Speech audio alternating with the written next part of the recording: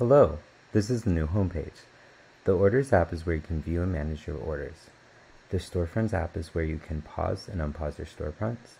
And the Menus app is where you can mark items as available and unavailable. Now clicking into the Orders app, the default area is the active area. This is where you can view all your incoming orders. Now if you click here, you can click into this area to view all of the orders that have been scheduled. You can also Click here in the Completed Recently tab to view all the orders that have been marked as handed off within the past 24 hours, and then you can click into History to view a holistic order history. Now going back to the Active tab, we recommend that you stay in the Online Orders area, which represents all of the orders that you're receiving from your delivery partners.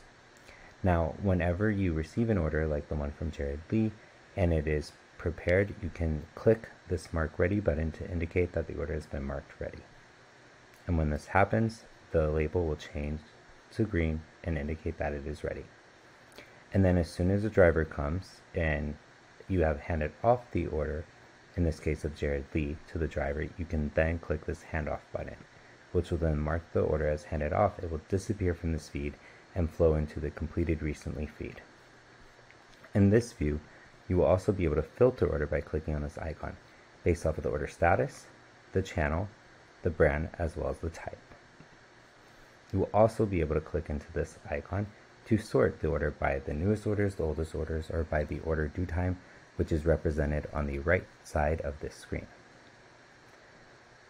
When the driver is estimated to arrive within three minutes, the color that is associated with this estimated time will turn yellow. And when it is past the estimated arrival time, as in the case of Brian C., it will turn red.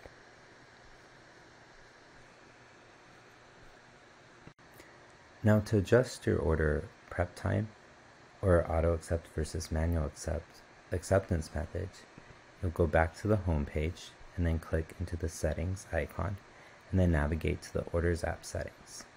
It is in the order app settings that you'll be able to see your different delivery channels. You'll be able to manage whether or not they are able to be accepted automatically or not, and you're able to also adjust the relevant prep time.